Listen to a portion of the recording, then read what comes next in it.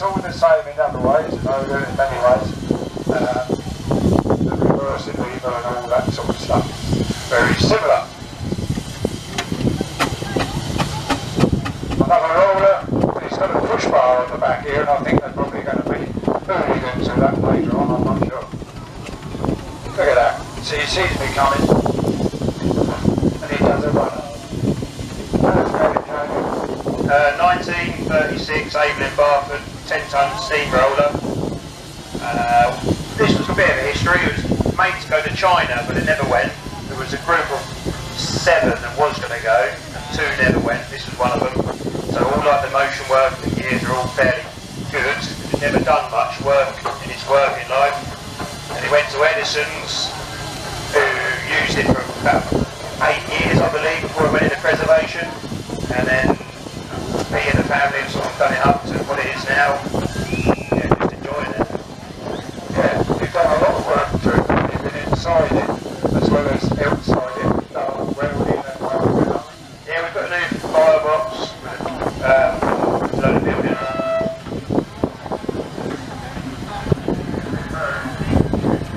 We got to get a little bit further. We back right. We try again. You've done. Yeah, we've done a new firebox, which is like the main part of the roller. Um, loads of other work internally, some paint work, and yeah, that awesome really. It's your delight, isn't it? I have to say, I really compliment this man because uh, the employee, when you came in, uh, I didn't think he was going to make it up the slope. Particularly because he got two trailers on behind it, wasn't just the engine, it was, and it is quite a slope up there. And he said, well, I'll give it a try, and he did it. And uh, I was amazed at that. I thought he'd at least get wheel spin coming up there, but, well, you did to start with. Yeah. So here to put the second pin in, that's what we were saying about earlier, uh, then he's only got one in at the moment. But, uh, put the second pin in so as he was driving on both wheels, and then he managed to get up the slope. Which is quite interesting since there's transits with uh, caravans on that couldn't make it. Hello. It's still big. We've been talking. That is about. Yeah. So it's a 1913 Marshall upholstered engine. It was originally built to go on the Doncaster Liverpool Broad Show stand by Marshall. It was then sent to, uh, or sold to uh, Mr. Pallick, uh, who was a crushing factory in Stevenage. Uh, it's gone through quite a few since then. It actually worked all through World War One and World War Two, until it came down here in about the 80s. Hello, Eleanor. See, Eleanor. See, you got that? Well, she, that's good. Well, it's interesting because uh, I saw Cameron on the other one, that's my brother, and he, he's steam um, apprentice, and so are you, aren't you? Are you going to tell us a bit about the apprenticeship? I think that's a no. I'm not sure. But, but it, it is worthwhile though, isn't it? Because I mean, you're not, not leaving school yet or anything like that, so they're getting involved in mechanical things uh, long before they sort of leave school. And Cameron now has just started work, and he's had five years, is it? You're at the steam apprenticeship? Or whatever, whatever. yeah, it is whatever.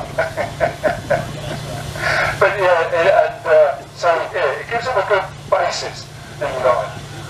I was lucky, as quite a few people of my age were, that managed to go to work with their father, or well, managed. I didn't have any chance to do anything different. I was on a farm, and that was the end of that. But most youngsters now can't go to work with their parents in any sort of way. Health and safety wouldn't have none of that. So they don't really get the chance and end up 23 before they start work. Am I allowed to say these things? I don't know whether I am now. But by the time they've left school at 18 and done a year's gap, God, my goodness, and then going on holiday and then something else, yeah. They're 23 before they start work. And they don't want to. Who said that? Where are we now? Who should we talk to? Oh, look, Alf's got trouble. Let's see what the trouble is. Pink talk with that. What you got trouble with, Alf? My training tire's falling off. Nothing serious. Just a nut and bolt job. When we talked to Melanie about the models, and when I say we're going to have some fun, we, uh, a three-inch model that we were talking about right from the start. Tell us a bit about it. Good afternoon. Yes, a three-inch Marshall Agricultural. Uh, it was built from a model from the Pride of the Road, which is what it's called, from 1910. But if you also look at the Marshall Agricultural that's just going around there, that's 1913, which is a full-size version of this, basically. Slight differences. Um, but yeah, we bought it seven, six years ago, did boiler work on it. Uh, the rest of it, as you can see, is here. It was built in 93, and we're the third owners. You have to keep these up the same as everybody else does. You have to do your uh, um, boiler test and all that sort of thing. Yes, that's correct. We still have to do the same boiler maintenance, the same as on the full-size one, because they are literally the same procedure all the way through. We have to have the cold examination and then the hot examination, and then because we do it through a boiler independent inspector, we have a 10-year hydraulic on it, which is one and a half times boiler pressure, which this is set at 120, so we go up to 180.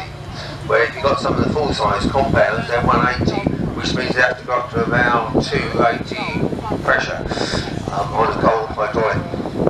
So this test is all about uh, filling it right up with water completely and putting a cup on the end of it. So if it did actually split or something like that, uh, it, it wouldn't do any real damage. Uh, whereas now, when it's probably at two thirds full, the boilers, you've got sort of a burn, if you like, on top of it, because it can expand very quickly, that steam, useful steam. And that's why it has to be tested. So, uh, not that I've heard of any boiler problems within this country in many years. Now, there's not been any boiler explosions since I think the late 1800s in the UK. Um, unfortunately, there was one in America in the year 2000, which was not very good. But they've now upped their regime, which is good. But it gives you some idea, and again, so you don't just have an end and that's it. There's a lot involved in keeping it going. So what have we got here? A four inch? Tell us about it. Uh, this is a 4-inch Foster road loco um, with a compound block on it, so we've got three speeds um, and many tanks as well for extra water capacity. Oh right. So yeah, these are the belly tanks, one each side, I presume, yeah. Um, so in, again, if we, we think about the full size one, this gives us more miles to the filler, um, which is quite handy. You know, not going to have to take it out to the nearest stream or whatever. Um, you, you, you should be able to get a full day, perhaps, with all your water in there and clean water, which is really handy. Anything particularly difficult or easy with this then? Um, not massively. Uh, unfortunately, last show we had, we had a, a fire tube which runs from the firebox up to the smoke box, which I believe you showed earlier. One of them um, went pop. It, it had a hole in it, so we've had to plug that this weekend so we can still keep going. And this winter, that will be a, a total strip down job to replace the whole lot. Oh right, so even the one, you, you just managed to do one at the moment. We've just plugged it up for the weekend, so it's now part of the, the boiler basically. It's full of pressure, and uh, yeah, we- we're, we're running one, one, one less than normal. But that's the usual thing, that is the, generally the first thing that goes, isn't it, is the boiler tube. And that, the tubes that are inside this one here, they're quite a bit smaller than the others, and they are the first thing we sort of go. Nothing to worry about, except it tries to put the fire out as much as anything else. So, uh, what have we here? Who's this Patricia? Us about it. Hi there. Um, yeah, this um, it, we bought in 2004. It's 23 years old. We was the third owners of the engine. Quite nice as well. pins in both sides, so he's going to be driving both wheels. And I think he's probably going to need two, two speed, if I remember rightly. One is Steve engine.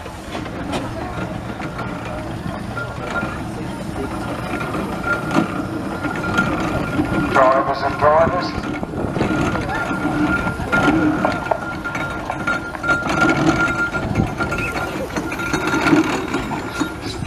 As you can see, probably, at the moment, manoeuvring these things at slow speed is not easy.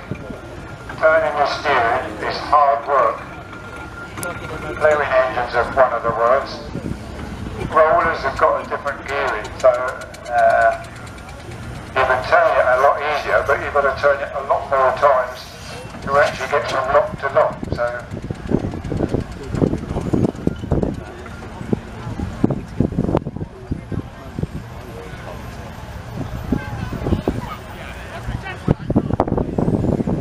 Does he?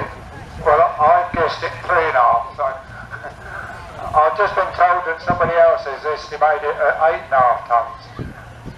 I don't. Uh, yeah, it may be. It may be. It's heavy. I know that.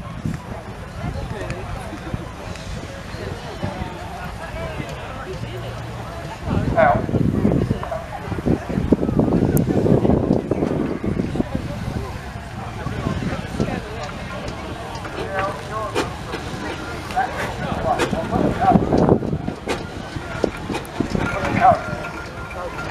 We'll put a there so they don't get too close.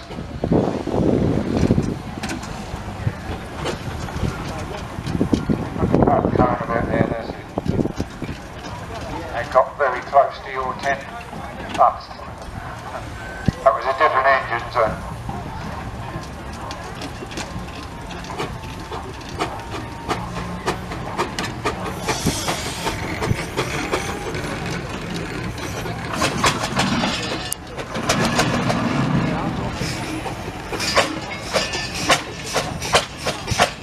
Now you can see what's happening there. It's uh, got, and this is what we were saying earlier with older tractors.